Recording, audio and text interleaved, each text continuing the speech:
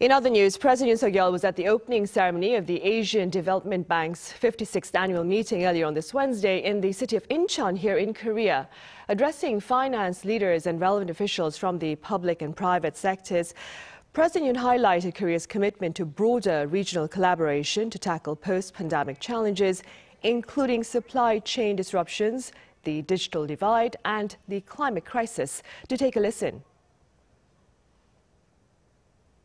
한국 정부는 인태 전략에서 밝힌 바와 같이 포용, 신뢰, 호혜의 3대 협력 원칙을 바탕으로 인태 지역의 경제 개발 협력에 적극 기여하고자 합니다.